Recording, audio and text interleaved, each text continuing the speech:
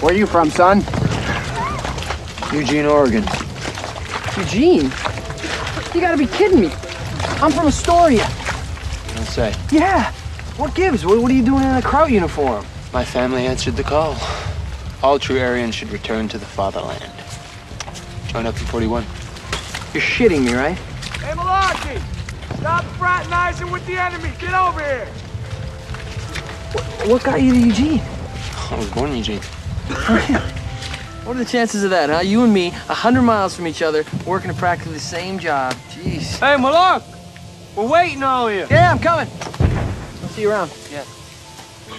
See you around. Cigaretten? Danke. Thank you.